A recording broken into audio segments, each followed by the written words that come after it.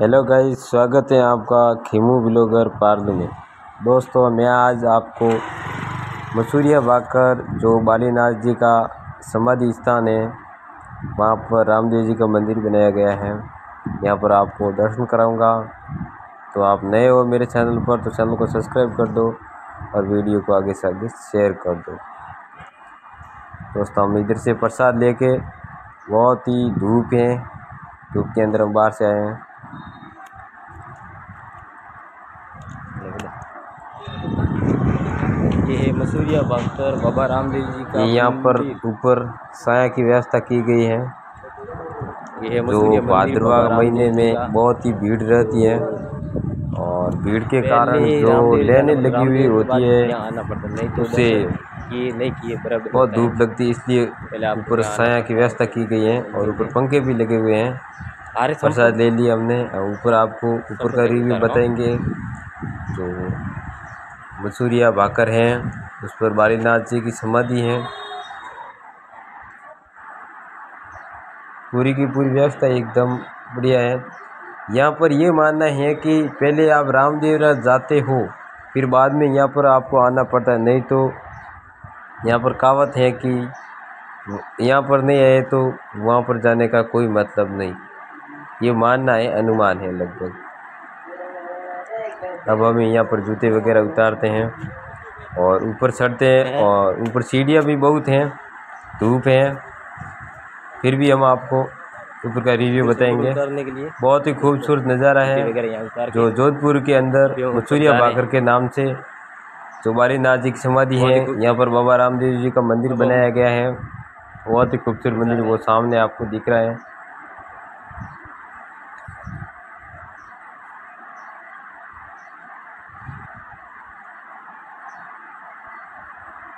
बहुत तेज धूप है यहाँ पर।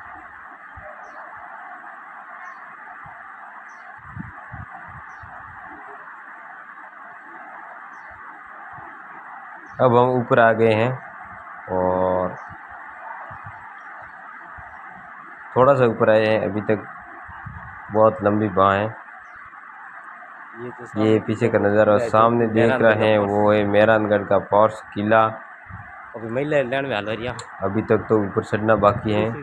सीढ़ियाँ बहुत हैं धूप भी बहुत है। रामदेव गए तो एक बार यहाँ आप ज़रूर आना। बहुत ही सुंदर मंदिर है। यहाँ पर व्यवस्था भी बहुत ही अच्छी है।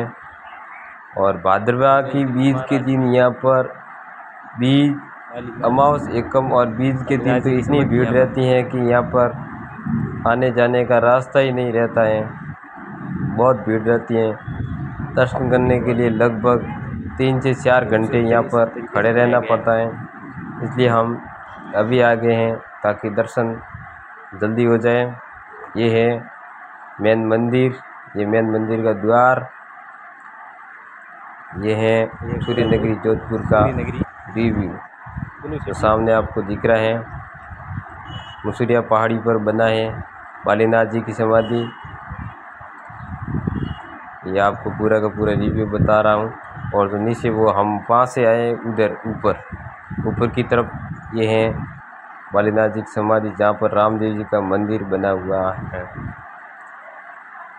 अब हम अंदर प्रसाद वगैरह चढ़ा करके आते हैं और आपको पूरा यहाँ का जो भी रिव्यू है बताएँगे। आप वीडियो को आगे से आगे शेयर ज़रूर करना। बहुत ही खूबसूरत नज़ारा है। हम दर्शन करने के लिए प्रसाद वगैरह सदा के आ गए हैं क्योंकि अंदर सेल्फी वगैरह जो भी है वो मना है वीडियो शूट करना भी मना है। इसलिए हम अंदर का रिव्यू आपको नहीं बता रहे हैं। ये है पूरा का पूरा रिव्यू ये बहुत ही यहाँ पर भक्तजन गुजरात वगैरह जहाँ से भी है यहाँ पर आके ही जाते हैं। रामदेव जाने के बाद यहाँ पर भक्त ज़रूर ज़रूर आते हैं। आप भी आइए और यहाँ का आनंद लीजिए।